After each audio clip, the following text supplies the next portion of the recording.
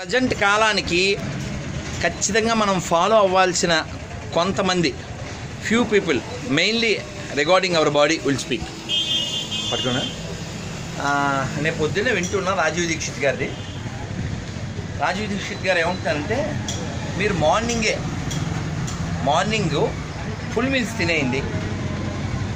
మళ్ళీ సాయంత్రం సూర్యోదయం సూర్యాస్తమయానికి ఒక ఫార్టీ మినిట్స్లో ఇంకెనకెళ్ళకు సూర్యాస్తమయానికి ఒక ఫార్టీ మినిట్స్ లోపలనే మీరు ఫుల్ మీల్స్ మళ్ళీ తినేయండి. ఎందుకు అంటే సూర్యుడికి మన ఉదరానికి సంబంధం ఉంది. ఎందుకని? ఉష్ణం ఉష్ణం. ఎప్పుడైనా మనం యాక్టివ్నెస్ రక్తాన్ని బట్టి వస్తుంది ఆ రక్తం ఆహారాన్ని బట్టి తయారు ఆ రక్తం తయారవ్వాలంటే ఆహారం అరగాలి. అది అరగాలంటే లోపల జఠరాగ్ని బయట సూర్యాగ్ని లేదనుకో దిస్ విల్ గో టు కట్టాగ్ని అవునా? మనకి రెండే ఈ శరీరానికి పని. అయితే నిప్పెట్టడం లేదా కప్పెట్టడం. రెండు ఆప్షన్లే ఉన్నాయి. ఖచ్చితంగా ఏదో రోజు దీనికి నిప్పెట్టడం కప్పెట్టడం కన్ఫర్మ్గా జరుగుతుంది. గ్యారంటీ ఇది నిప్పుల్లో పడే లోపల మనం నిప్పులా బతకాలి. ఎవడో చెప్పాడు నేను నిప్పు అని. మొత్తం తుప్పు అది వేరే కాదు మనకు వద్దు. అయితే ఇది యాక్టివ్గా ఉండాలంటే మన లోపల ఫైర్ ఉండాలి. ఈ ఫైరు కలిగిన ఒకే ఒక్క గొప్ప దేశం మనది. అది కూడా పెర్ఫెక్ట్గా ఫైర్. దాని సోమాలియా లాగో లేకపోతేనేమో సిరియా లాగో. ఆఫ్రికా లాగో ఎక్కువ ఫైర్ కాదు. అలాగని చెప్పి ఇంగ్లాండ్ లాగా అమెరికా లాగా అంటార్టికా లాగా లేకపోతే ఫ్రాన్స్ లాగా మైనస్ కాదు. అందుకనే గుడ్ మార్నింగ్ అనే పదం ఎవ్రీడే చెప్పుకోగలిగే అదృష్టవంతులు మనం మాత్రం. అలా మనం చెప్పుకోక్కర్లే. ఎందుకంటే ఎవ్రీడే మనకు గుడ్ మార్నింగ్ వాళ్ళకి దిక్కు లేదు. I hope today is good morning ఆడు చెప్పుకోవాలి. ఎందుకంటే వాళ్ళకి సన్ రాడు. వాళ్ళు కూడా అడుగుతారు evening how is the day అని. ఆ, చూడండి. ఎందుకంటే వాళ్ళ దిక్కు లేదు. వాళ్ళ వాళ్ళ బతుక్కి సూర్యుడు వస్తే పండగ. మా ఫ్రెండు వాడు కొన్ని రోజులు అక్కడ ఉన్నాడు కెండాలో కెండా పరిస్థితి ఏంటంటే కారు దిగితే బొక్కలు పడిపోతారు. వెదర్ వింటర్ ఆర్ సమ్మర్ ఈ వేడి బొక్కలైనా పడతాయి చలి బొక్కలైనా పడతాయి. బొక్కలు కామన్. అది ప్రమాదం. అతి రెండిట్లోనూ ఉంది. కానీ మన అదృష్టం ఏంటంటే రోజు సన్న వస్తుంది. రోజు సన్న రాకపోతే ఇంక ఏం జరగదు అసలు. అందుకనే మనం ఏమంటామని ప్రత్యక్ష నారాయణుడు అంటాం. అర్థమైందా? మన దేశాన్ని మేరా భారత్ మహాన్ అంటాం. ఖచ్చితంగా మన దేశం మాత్రమే గొప్పది. ఏ? మిగిలిన కాదా అంటావేమో. కంపేర్ విత్ దిస్ మిగిలినది ఏది దీంతో సమానం కాదు. ఎందుకు అంటే మన దేశం ఇప్పుడు విడాకుల్లో సెకండ్లో ఉంది. రోగాల్లో ఫస్ట్లో ఉంది. ఎందుకు ఉంది అంటే వీ ఫర్గాటిన్ అవర్ రూట్స్ మన గతం మర్చిపోయాం మనం. మన గతం మన మూలం. Yeah we remain country root that's why forget the roots అవునా కదా? అందువలన మనం ఎంత దురదృష్టకర విషయం అంటే ఇక్కడ నాలుగు అడుగులు వేస్తే అది మెడికల్ షాప్ పెడతాం ఏ, ఇలా పక్కకి వెళ్తే మెడికల్ షాప్ అలా నాలుగు అడుగులు వేస్తే ఒక గుడి కనపడిందా? ఆ ఎదురుగా మెడికల్ అక్కడ మెడికల్ అంటే అడుగు అడుగున గుడి ఉంది అందరిలో గుడి ఉంది అన్నట్టు. అడుగడుక్కో మెడికల్ షాప్ ఉంది అందరిలో రోగం ఎందుకు ఈ రోగం వచ్చింది ఎంత ఎందుకు మన doctor Sivakrishna? అవర cameraman Sivakrishna Radhamanohar last dialogue అదే. డాక్టర్ షూటింగ్ కదా? విషయం ఏంటంటే డాక్టర్లు పెరుగుతున్నారంటే నేను చాలాసార్లు చెప్పింది మళ్ళీ చెప్తున్నా. కాదరవల్లి గారు రిపీటెడ్గా చాలా అందంగా చెప్తున్నారు ఇదే మాట. డాక్టర్లు పెరుగుతున్నారు హాస్పిటల్ పెరుగుతున్నాయి మెడికల్ షాపులు పెరుగుతున్నాయి. అంటే మనం పైకి వెళ్ళామా కిందకి వెళ్ళామా ఏం పెరిగింది? రోగం పెరిగింది. ఎందువల్ల రోగం పెరిగింది? భోగం పెరిగింది. ఇప్పుడు దాన్నే కార్పొరేటర్లు మెడికల్ టూరిజం అని మార్కెటింగ్ చేస్తారు. ఇంకా వ్యాపారానికి అంతే ఉంది. సార్ సార్ ఈ వ్యాపారం అనేది ఈ చైన్ లింక్. ఫస్ట్ ఫుడ్ మీద కొడతారు సార్. ఏయ్ తినకూడదు. ఏ ఏం ఆయిల్ వాడుతున్నావు నువ్వు? ఏందా? ఏం గోవిందరాజు నువ్వు గోవింద అయిపోతావు? ఇదిగో నువ్వు డబల్ రిఫైన్డ్ వాడు అని చెప్తాడు. ఎందుకు డబల్ రిఫైన్డ్ చెప్తాడు డాక్టరు? వీడు సన్ఫ్లవర్ వాడితే వాడికి ఇంట్లో రెండు మూడు ఫ్లవర్లు వస్తాయి. ఆ కంపెనీ కూడా అక్కడ వాడికి డబ్బులు ఇస్తాడు ఆ డాక్టర్కి. అందుకని ఆయిల్ మంచిది వాడండి అని చెప్పడం వేరు. సన్ఫ్లవరే వాడు అని ఎందుకు చెప్తాడు? వాడు సన్నకు మంచిది.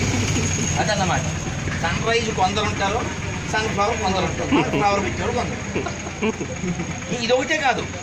ప్రతి దానికి డాక్టర్ అడ్వైజ్ అంతా ఎలా ఉంటుందంటే కార్పొరేట్ అడ్వైజ్. వాడికి లాభం వచ్చే కంపెనీది సజెస్ట్ చేస్తూ ఉంటాడు మీరు గమనించండి ఒక నోట్ బుక్ ఇది ఎంత ఉంటుందా గవర్నమెంట్ ఇప్పుడు యాభై రూపాయలు ఇస్తున్నాం ఇప్పుడు యాభై రూపాయలు. కానీ నారాయణ అని శ్రీ చైతన్య అని ఉన్నాయి కదా.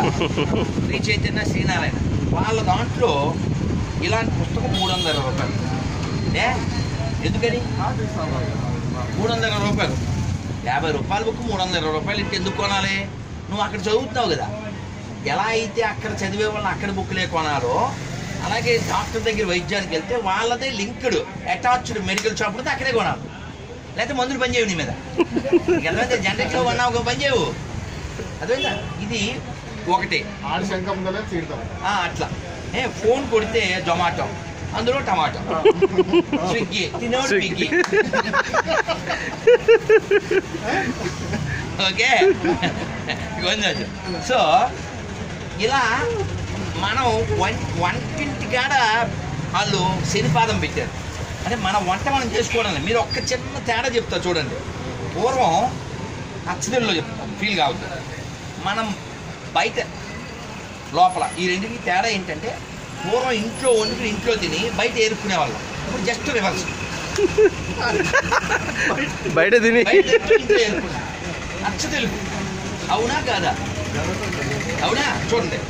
మనం తినకూడని చెత్త అంతా బయట నుంచి తెప్పించుకుని లేకపోతే బయటికి వెళ్ళి తినేసి ఆ చెత్త అంతా ఇంట్లో వేసి ఆ, మలప దొడ్లో ఈ శరీరం పాడయ్యి డాక్టర్ దగ్గరికి వెళ్ళి డాక్టర్ని బాగు చేసి తద్వారా భయం వస్తే ఏ గుండె వీక్ అయిపోతే అప్పుడు ఇన్సూరెన్స్ కంపెనీ వాడు వచ్చి ఆడు ఆడు మన భయం మీద బిజినెస్ చేసి ఆడు బాగుపడిపోయి అంటే ఫైనల్లీ మన ఫుడ్ మన చేతుల్లో లేదు. మళ్ళీ దీనికి ఒక పేరు హెల్తీ లైఫ్ స్టైల్ సిగ్గు లేకపోతే సరే. మీకు బండ విషయం చెప్తాను. ఇంక మళ్ళీ అక్కడికే వస్తుందా పూర్వం మీ నాన్నగారు? నువ్వు ఒరే నీ వయసు ఎంతరా. ఇక్కడ రా. ఫైవ్ ఉందా నీ వయసు? నువ్వు పేస్ట్ ఏం వాడుతున్నావు? తెలుసా? కంపెనీ పేరు? ఏం పేరమ్మా? ఏ- ఏ గేటు? తెలుసుగా నేను చెప్పాను ఒకసారి ఆడు పళ్ళు తీనాను ఇయ్యను ఏం కాదు.